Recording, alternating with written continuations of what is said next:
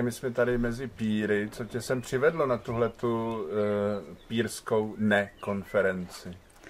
Tak abych řekla pravdu, uh, tak to byla hlavně zvědavost, jak taková nekonference bude vypadat a jakou bude mít náplň. A taky uh, jsem chtěla získat nějakou inspiraci pro svou práci uh, píra, kterou dělám teprve krátký čas a možná hledám nějaké návody a nápady, uh, které bych při této práci použila. Mm-hmm. A, e, takže nacházíš tady ty nápady? Nacházím a je to pro mě teda velmi inspirativní. Možná jsem uh, si od toho tady ani tolik neslibovala, co mi to vlastně přineslo. Mm-hmm. Jak jsi se stala pomáhající pír pracovnící? No, tak nejdřív bych možná začala od toho, že vlastně celý život jsem toužila nějakým způsobem být v kontaktu s lidmi. Chtěla jsem být původně zdravotní sestra, ale uh, v podstatě jsem vystudovala obchodní akademii a aby toho nebylo málo, tak jsem um, dostudovala ještě vysokou školu v ekonomickém oboru. Mm. A pracovala jsem jako manažerka technického provozu. No a potom uh, se stalo to, že jsem uh, vlastně se psychicky i fyzicky zhroutila.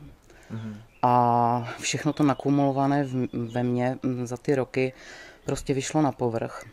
Mm. A uh, začal jsem docházet do domu duševního zdraví v Ostravě Porubě, mm. uh, kde v podstatě sociální pracovnice uh, mě po asi dvou letech docházení uh, sdělili, že vlastně začíná takový kurz uh, na píra, Zjistila jsem si, co vlastně je náplní té práce mm-hmm. a řekla jsem teda, že, že to vyzkouším. Mm-hmm. Kurs jsem teda udělala a potom mě oslovila kolegyně nebo následující kolegyně a řekla mi, ať se zeptám ve společnosti vlastně v Ostravě, kde hledali píra a v prosinci jsem se zeptala a vlastně v lednu jsem nastoupila. Mm. Pak jsem ještě přešla v podstatě od července do společnosti, vlastně do domova se zvláštním režimem, protože vlastně za půl roku, když jsem dělala v terénu, tak jsem zjistila, že úplně taková individualita prostě, nebo ta individuální práce není pro mě a mm-hmm. že raději pracuju v podstatě s týmem, mm-hmm. kdy máme eh, společný cíl a eh, můžeme si vlastně sdělovat své poznatky nebo okamžiky vlastně, které vlastně trávíme s těmi klienty a vlastně když každý řekne své postřehy, tak potom vlastně ta, ten celkový výsledek té práce s tím klientem je daleko, mm-hmm. daleko přínosnější a lepší. Takže... Mm-hmm. Co soudíš o pírství jako takové?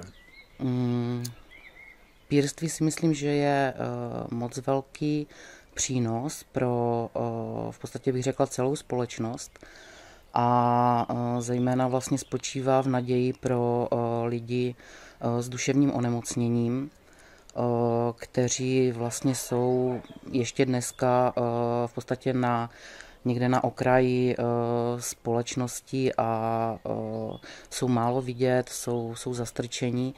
Mm, takže si myslím, že je to nějaká cesta, jak zároveň ovlivnit tu společnost, protože jako pír uh, mám šanci v podstatě oslovit i veřejnost, mm-hmm. ale taky uh, v podstatě dostat uh, nebo, nebo hovořit s těmi lidmi uh, tak, abych v nich vzbudila naději, mm-hmm. že ten uh, život uh, má smysl a má smysl ten jejich život. Mm-hmm. Máš nějaký vzor svůj osobní jako v životě nebo v tom eh, ve sféře duševního zdraví? No, nad tím jsem přemýšlela, nebo i hmm. teď přemýšlím, ale uh, není to úplně konkrétní osobnost. Uh, pro mě je vzorem každý, uh, kdo vlastně udělal nějaký krok na cestě zotavení směrem ku předu. Hmm.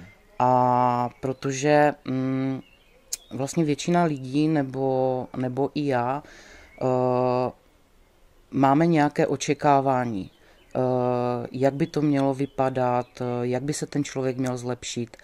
A od toho je třeba v podstatě upouštět mm-hmm. a opravdu obdivovat a vážit si každého toho kroku, který ten člověk udělá. Mm. S tím souvisí otázka, kterou jsem kladl i ostatním. E, položím ji hned. Myslíš si, že zotavení je jako pro každého, že e,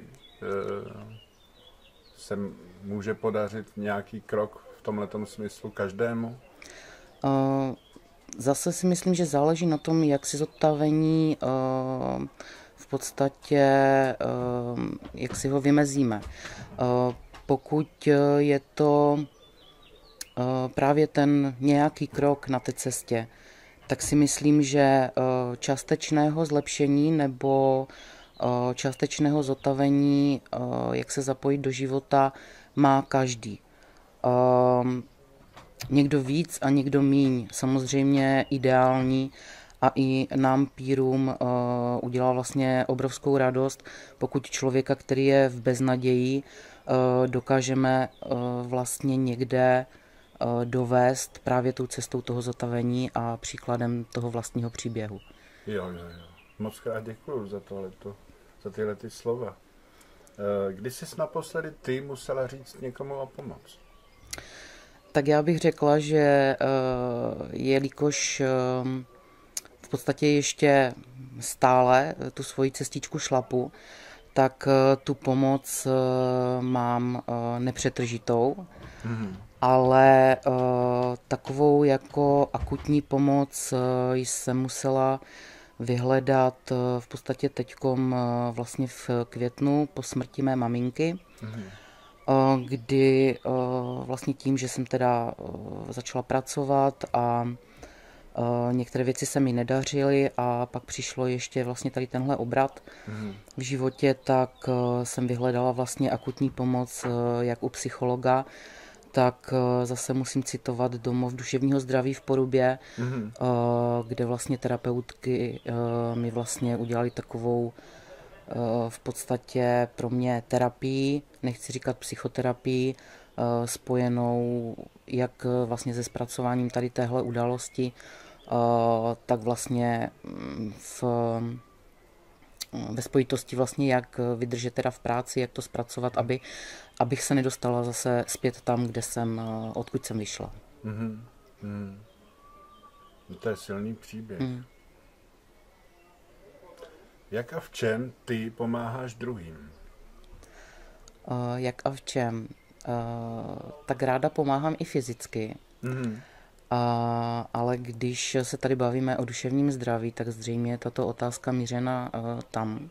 Mm-hmm.